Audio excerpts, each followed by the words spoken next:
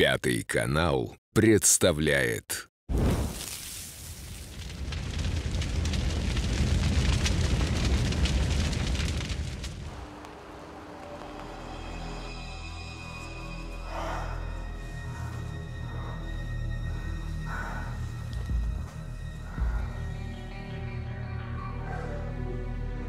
Сегодня ты прям молодец, Хрюшка. Визжала, что надо.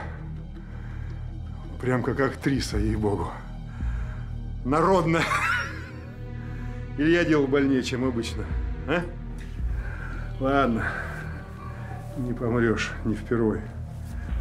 Не помрешь ведь, Хрюшка? А? Я позвоню.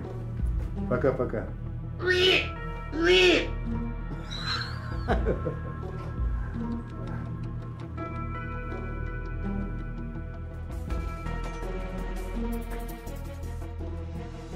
Урод.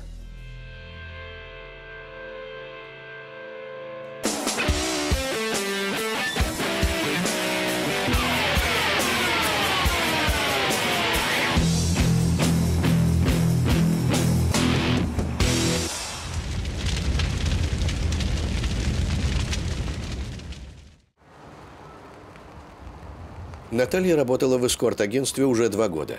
За все это время еще ни разу клиент не назначал ей встречи в машине. Поначалу она отнеслась к этому с опаской, но, увидев машину, успокоилась. М, Какая классная тачка.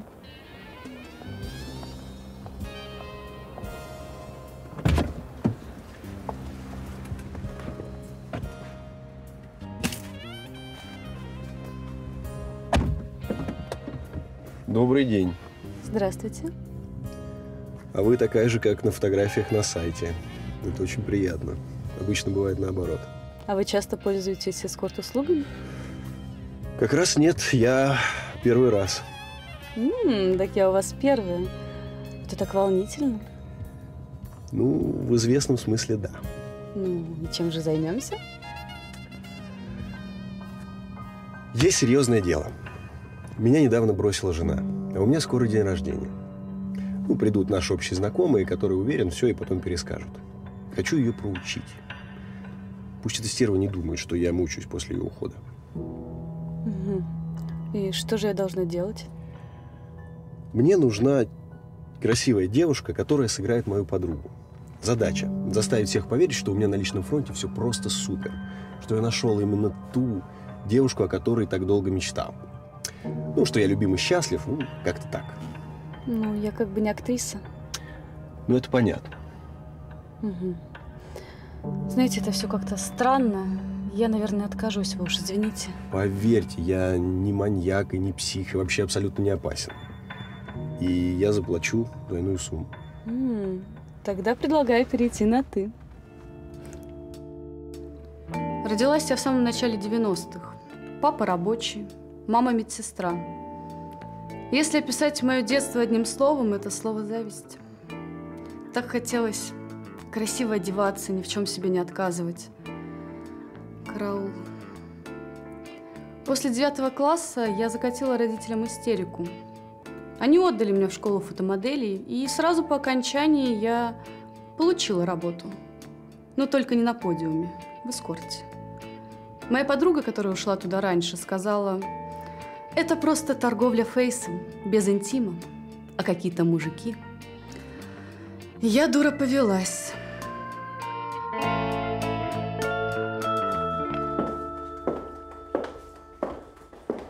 М, Красивенько у тебя. Это съемная квартира, а свою квартиру я отдал бывшей. И что же мы тогда здесь делаем? Я хочу, чтобы на дне рождения все прошло как надо. И чтобы ни у кого из гостей не возникло подозрения, что ты только изображаешь мою девушку. Поэтому ты должна быть одета как девушка, которая мне нравится. А что, я как-то не так одета? Вот, заказал по параметрам, которые указаны у тебя на странице.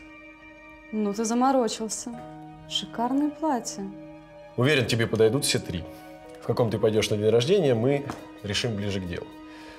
А сейчас Так, стоп, давай расставим все точки над «и». Многие путают эскорт с проституцией. Прости, не понял. Ну да, многие девочки из эскорта занимаются сексом с клиентами. Но это обговаривается отдельно. Секс в эскорт не входит. Ясно. Хорошо. Давай просто забудем. У нас с тобой другие цели. Присядь, послушай.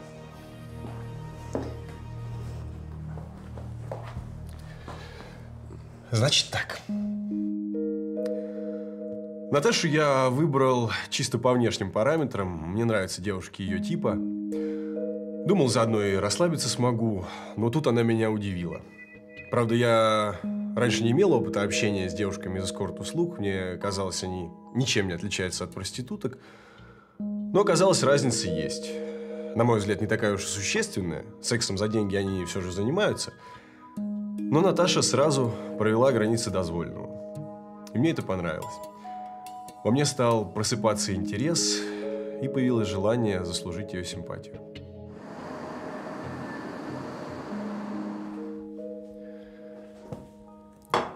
Пробовала когда-нибудь такое? Нет, а что это?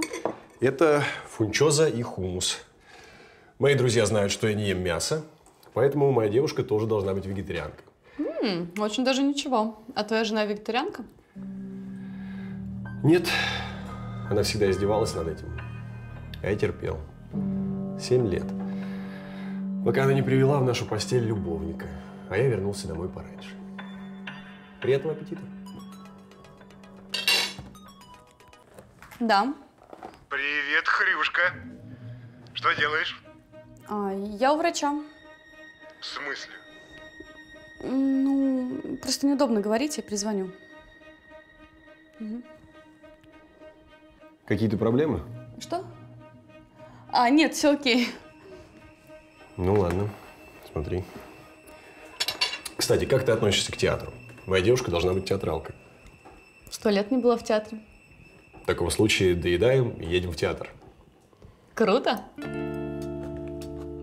Родион мне очень понравился. Такой вежливый, любезный, культурный. Вот бы все клиенты были такие.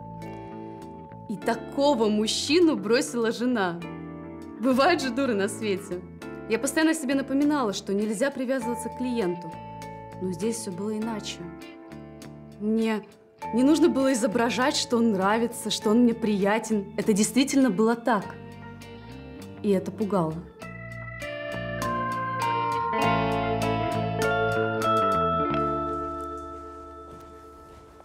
Спасибо тебе огромное. Я так прекрасно провела время. Реально даже в голову не приходило пойти в театр. Давай еще разок проговорим, что мы смотрели. Мы смотрели спектакль по роману «Мастер и Маргарита», автор Михаил Булгаков. О чем это произведение? Помнишь, что я сказал, когда мы выходили из театра? Я записала.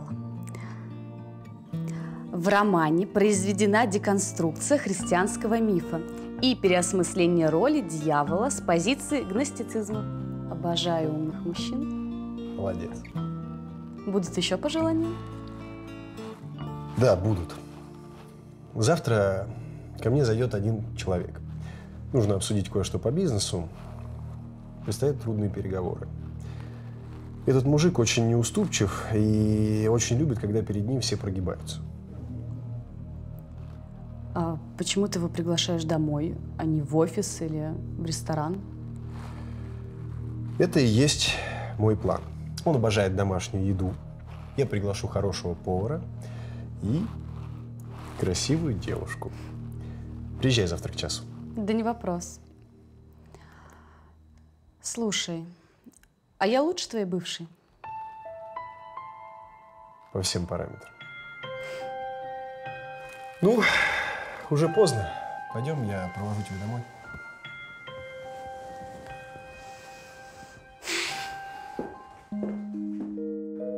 На следующий день Наташа явилась без опозданий. Она крутилась на кухне, помогала повару. В фартуке у нее был такой милый домашний вид. Черт, если бы не ее профессия, я был бы рад встречаться с такой девушкой. Она готовила картофельные драники и пританцовывала возле плиты. Я даже несколько раз ловил себя на мысли, что не прочь видеть такую картину на своей кухне каждый день. Я был уверен, она произведет благоприятное впечатление на переговорах.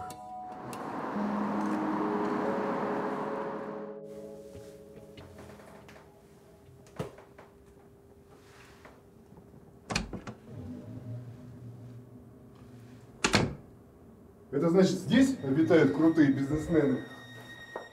Ну, собственно, да. Сюда, пожалуйста, проходите, Игорь Евгеньевич.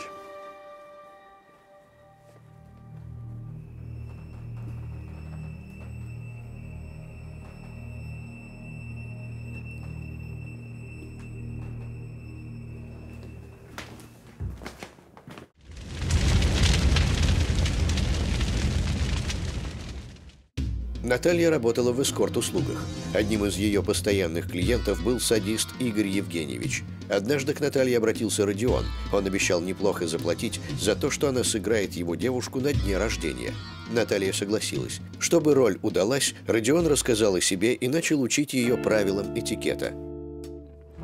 Я просто не могла пойти туда к ним. Этот Игорь Евгеньевич, он был вип-клиентом нашего агентства и настоящим психом.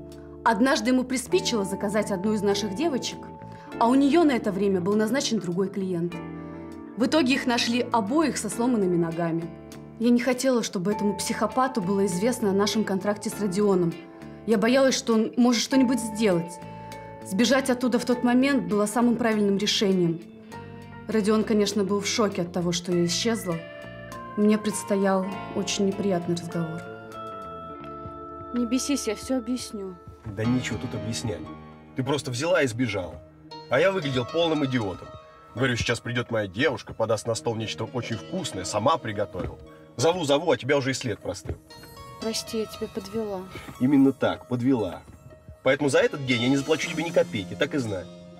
Черт, я даже готов отказаться от всей этой идеи с днем рождения. Если ты помолчишь хоть полминуты, я тебе объясню, в чем дело. Я слушаю. Вот ты своего партнера давно знаешь? Ну, пару месяцев. Он хочет купить у меня один мой актив. А что? А вот я знаю его полгода. Так вот он вип-клиент мой и нашего агентства. И вот он настоящий психопат, понимаешь? Я не хотела, чтобы он узнал, что я теперь с тобой. Иначе бы у тебя были проблемы, и у меня тоже. Ну, вообще-то он известный в области бизнесмен, благотворитель и меценат. Мгм. Садист и настоящий психопат. Я просто не хотела, чтобы он знал, что я теперь с тобой. Вспомнишь черта. А ну, дай мне трубку, я с ним поговорю. Нет, нет, это его разозлит. А то, что ты его оборвала и телефон выключила, это разве его не разозлит? Блин. Так, что случилось? Я боюсь теперь идти домой, он знает, где я живу. Ну, это не проблема. Сегодня можешь переночевать у меня. Когда Родион сказал, можешь переночевать у меня, я подумала про себя, ну, наконец-то. Вот сегодня все и случится. Но он постелил мне на кровати, а сам пошел спать на диван. Первую половину ночи я ждала, что он придет, и мы займемся любовью. Но он то ли решил не беспокоить меня перед своим днем рождения, то ли просто тупо уснул, уж я не знаю. На следующий день мы пошли в ресторан. Я боялась, что я не справлюсь со своей ролью. Но в какой-то момент я и вправду поверила, что я девушка Родиона. Наш план сработал безупречно. Это была абсолютная победа.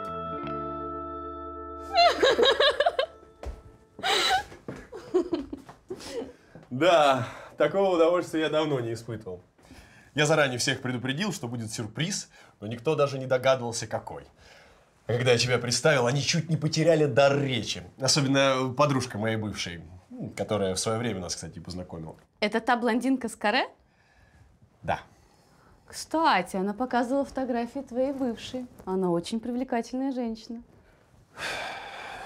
Не такая уж она и привлекательна. И жизнь с ней далеко не сахар. А со мной? Как ты думаешь, со мной можно было бы жить?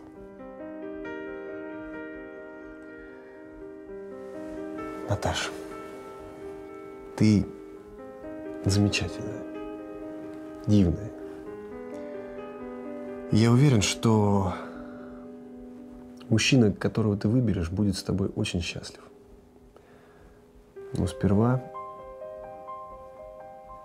тебе нужно поменять профессию. Я ответил на твой вопрос. Да.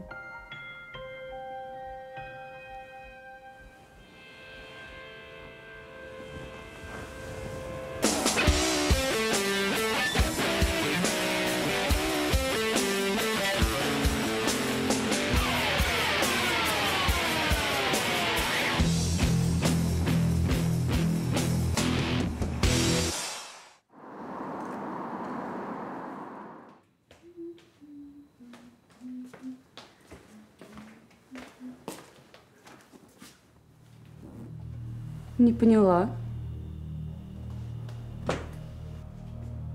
А, я думал, ты уже уехала, по-английски не попрощавшись.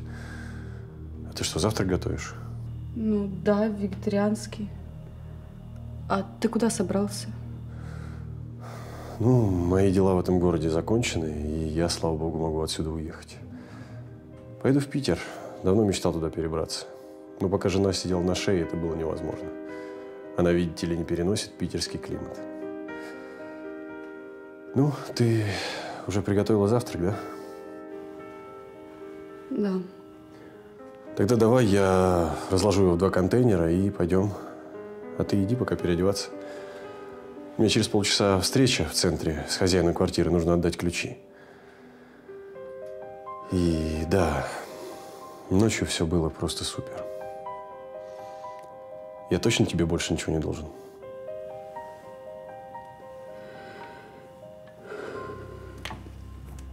Как в Питер? Ну, а, собственно, почему нет?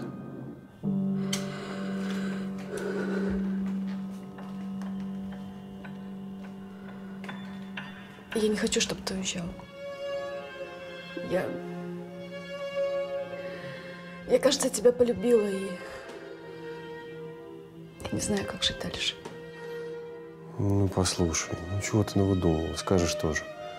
У тебя таких, как я, еще сто штук будет. Не переживай.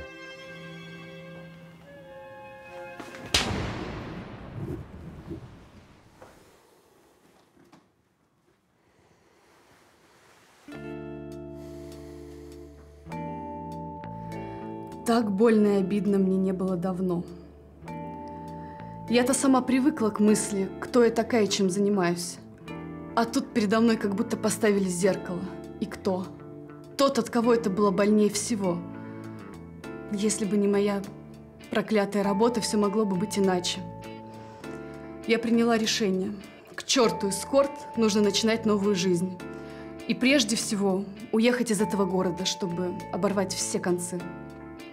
Сразу от Родиона я поехала домой и стала собирать вещи, хотя в тот момент больше всего на свете мне хотелось завернуться в одеяло и реветь.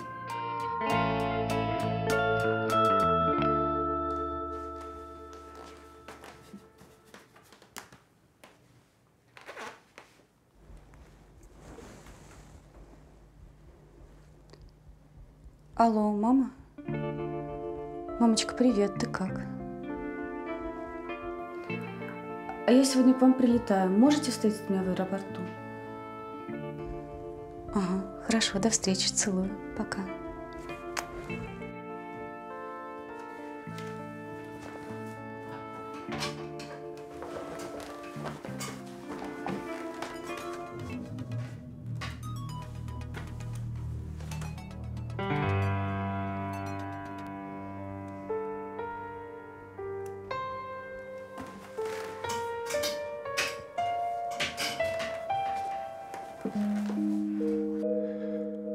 Машине на меня неожиданно нахлынули воспоминания о Наташе.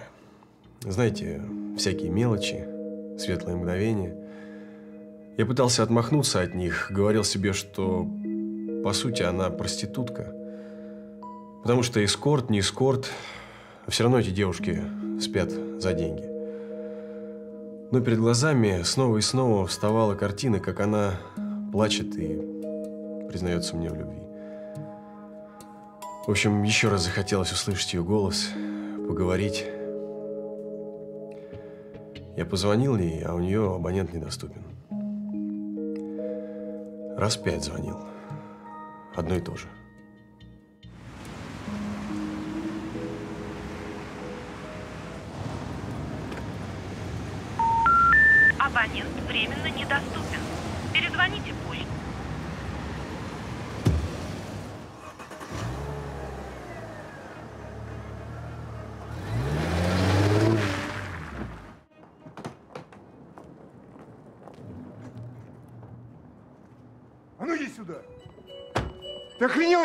Сбрасывать? Ты что себе возомнила? Нет, Хочу ее машину. Нет, пожалуйста, помогите! Молодые люди, молодые люди, вы что делаете? Отпустите эту женщину немедленно! Женщина, звоните в полицию! Это похищение человека! Уже звоню. Я тебе еще позвоню. А ну пошла отсюда, пока я в тебе дырок лишних не понаделал.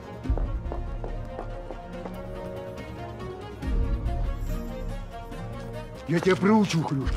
Сейчас мы поедем на дачу, у меня там целая бригада как раз ремонт делает. Я тебя им кину, они тебя по кругу пустят. Вот тогда ты узнаешь, как мои звонки сбрасывать.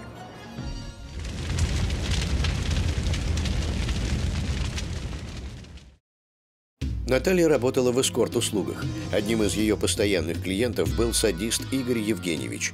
К ней обратился Родион и предложил в день его рождения сыграть перед знакомыми роль любимой девушки. Наталья согласилась. Пока Родион рассказывал о себе и учил Наталью манерам, она влюбилась в него. День рождения состоялся, Наталья была на высоте. После Родион не спешил отпускать Наталью. Она провела у него ночь. Я знала, что он просто так языком не болтает. У меня аж в глазах потемнело. С девочками в этом бизнесе, конечно, случаются трагедии. Реже, чем с обычными проститутками, но все же бывает. Я поняла, что мне посчастливилось попасть именно в такую ситуацию. Это был конец. Я мысленно даже попрощалась с жизнью.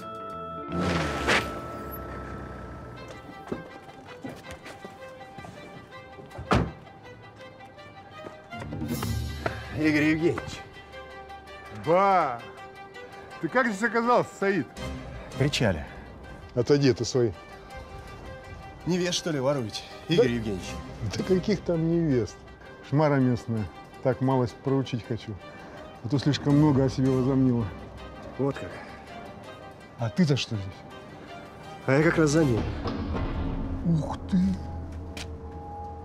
Интересная ситуация.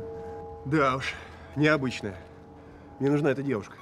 Да что ты говоришь? Видишь, ему девушка нужна. Представь, она мне тоже нужна. Если вы его везете, я сниму это на видео и позвоню своим друзьям в ФСБ. Потому что похищение людей – это по их части. Ишь ты какой прыткий. Я не знал, что у тебя есть друзья в конторе. Есть. Но я надеюсь, что до этого не дойдет. Без Наташи я отсюда не уеду. Чего вы за нее хотите? А ты прям серьезно настроен, да? Максимально серьезно. Ну что ж, если вопрос стоит, чего я хочу, то напомню. Наш разговор о твоем бизнесе так и не закончен. Я по-прежнему хочу его купить. Только вот цене придется тебе уступить. Надеюсь, ты меня понимаешь? Давайте так.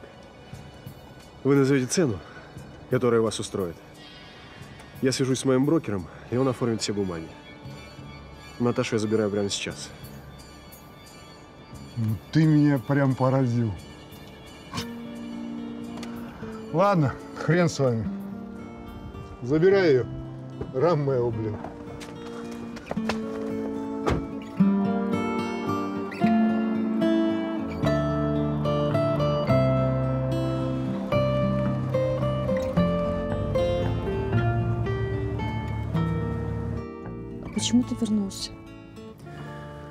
Потому что понял, что не могу без тебя. А главное, я почувствовал, что ты в беде. Видела бы ты, как я сюда летел. Господи, все как во сне. Это правда?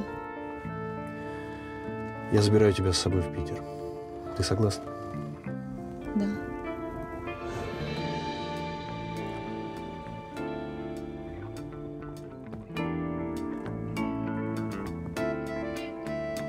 Прежде чем отправиться в Питер, Родион и Наташа заехали к ее родителям, которые так и не узнали, что Родион спас их дочку от страшной участи. В Питере Наташа, благодаря Родиону, смогла начать новую жизнь. Через год они поженились.